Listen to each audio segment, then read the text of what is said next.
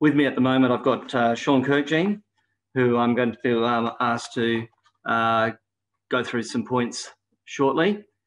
And I also am, um, uh, I've got Tara uh, from the sailing office, sailing manager here as well. Um, and I'm Sam Haynes. I'm uh, one of the directors of the CYC, in case you don't know me, and I'm also uh, the chairman currently of the sailing committee. Um, so yes, uh, I uh, just wanted to let you know um, we've called tonight's briefing um, as we've been made aware um, of an increasing number of incidents that are taking place during the Wednesday Twilight series. And um, some of these incidents have been the product of overly aggressive behaviour on the water. Uh, the Wednesday Twilights are an entry level series. Um, the spirit of intent, they, they, have got a, a, spirit and intent of fun and enjoyable racing. And the incidents that have been occurring, um, in some cases, have been putting a dampener on one of our most popular series. Um, it's a great series for our regular sailors, but it's also a series which is great for new crew to be introduced to the, introduced to the sport of sailing and also enjoying our beautiful harbour. So um, the CYC, um, we understand it's a competition and winning's, you know, great and, and competitive spirit's always there. But um, the risk of damage and um, injury um, are reducing the enjoyable element of the racing. And there are some common incidents which have been occurring um, and becoming more frequent, and some rules which have been infringed regularly. Um, and so we will discuss those tonight. Um, for the information of the uh, fleet, we also would like to just um, mention that we are considering changing it to not being a point score in next year um, so that we can encourage more of a appropriate environment for beginners without it being a point score type race and the pressure of a point score. Um, one last thing is that uh, we'd like to remind you that this is a self-regulating sport and if you are in a situation where you believe rules are broken, then protesting will assist this. We understand there's reluctance to protest for Wednesdays, but it may be that protesting may be something which is a requirement to be able to keep the rules maintained during these races.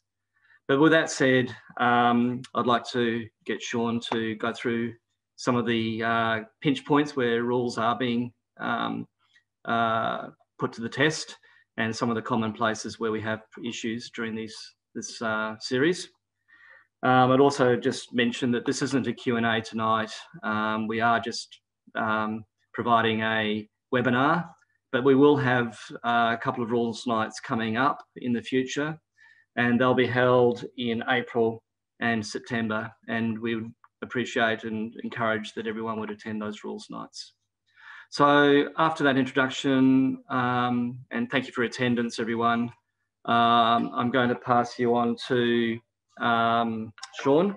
My phone rings just at the wrong time. Um, to I'll pass you on to Sean to go through a few things that we uh, would like to discuss as far as uh, particular areas of the course. So here's Sean Kirkjean. Thank you. Good evening, one and all. Um, I'm just sort of helping out here in the situation that there are quite a bit, few incidents that are happening on the track. I'm not going to go and explain every rule tonight. There's no point in that. We all understand, most of us understand what the rules are. The biggest issue that we have is various sizes and speeds of boats. So I want you to remember that in the sense if you're in a small, heavy boat, you're going to be a lot slower, a lot less maneuverable than you are in something that's very light and uh, got a lot of sail area. So what we're all about is avoiding incidents, crashes and the like. Obviously, none of us want our insurance premiums to go up, so that's why we're, we're really here. That and having fun on the water. I always say to people when you go sailing, the first thing that you want to do is get out there, don't hurt anyone, don't break your boat, have a good time, and then win from there. So they're the four things to think when you're sailing a twilight race. Now, rules that were happening. We got nor'easters and we got southerlies. They're generally the two major races that wind conditions that we sail in. Of that, the nor'easter, we have a lot of people barging on the start boat. So people must know that uh, you can't just come reaching in, sailing down and around the committee boat, trying to start. There are a lot of people getting in there early, trying to establish position, and then you'll find someone coming in late with a lot of speed out of Double Bay. And when they get there, suddenly there's nowhere to go for them. So you've got to think about the level of, of your competition, some of the people you sail with and against. Are they capable of getting out of your road in that time frame? Again, it's all about introducing people to the sport and uh, racing at you know, not a not a level that's America's Cup, if you get what I'm drifting at, but uh, a level that is everyone's capable to sail to. Another example of that is when you're sailing into rocks. There's rocks ahead of you, and you know you need to tack to get out of there. Bradley's Head might be the place on a nor'easter start. So when you call for water, you've got to give the guy room and opportunity to do so. And in a twilight race, some people have a lot of crew on their boats who don't know what they're doing. They've just come from the office to go sailing, and they've got to get them from one side of the boat to the other. So again, it's a matter of giving people time to keep clear. Uh, if I progress up the course, we go around our marks to the north and we run back and we have to go around Steele Point.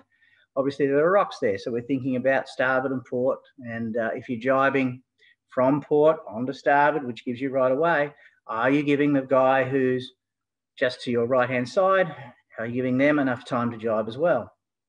It's always just thinking about giving people room and opportunity to keep clear. If you do that, you'll keep yourself pretty well out of trouble in point scores and most races. Um, buoy room is quite often the, the big one that comes up, especially when we're going around the uh, YA buoys all around the track. The what you've got to consider there is the distance from the mark. Do you have room? Do you not? If you don't know or you think it's close, it's better to sit there and assume that you didn't have the overlap and just let the other boat go through. And I'm talking about the boat that was in front, not the boat that was behind. Um, now, penalty turns. Penalty turns are a good thing. They're in the in the sailing instructions. If you think you've infringed, well, then go ahead and do two turns. But don't do them right at the start line. Try and get clear of people and do it there. So you're not doing circles in front of other people who are trying to get past you. I've seen uh, many incidents over the years in twilight races. The one that always bugs me is when you're running downwind and you're coming upwind, you've got right away You've got to think about the rigs because your hull can be, you know, half a boat length away from the other hull, but the rigs can often come together. And I think we actually had one, a good one earlier this year. But um, there's many, many times where I've yelled at people to look up as they're sailing past, past each other. In a nutshell, that's it. Remember, you're out there to have a good time. Remember those four things I said at the beginning, and uh, they'll get you around the track pretty well. It's all about having fun. I'll pass back to Chairman of the Sailing Committee. Thanks, Sean. Okay, everyone, um, thank you very much for joining us. And uh, I mean, I think the gist of what we're saying and what Sean's just pointed out there is um, fair sailing, giving people plenty of room, giving opportunity, communicating nicely between the boats so that uh, manoeuvres aren't rushed or in, uh, putting people in danger, and observing um, a, a, more sort of courteous environment to run these races. Um, I do appreciate that most the vast majority of uh, the competitors are, are, are, racing for many years in these races and doing an extremely good job of not getting in, into problems. Um, but um, you know, occasionally we are running into perhaps uh, more conflicts than we uh, normally would.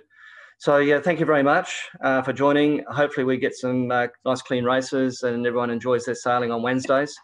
And um, uh, yeah, enjoying this tomorrow's race. So thanks very much. And uh, also, yeah, I've just uh, been reminded to you know that there will be a recording of this, and it's available to the other uh, anyone that misses, and um, it'll be up online tomorrow. So see you later. Thank you.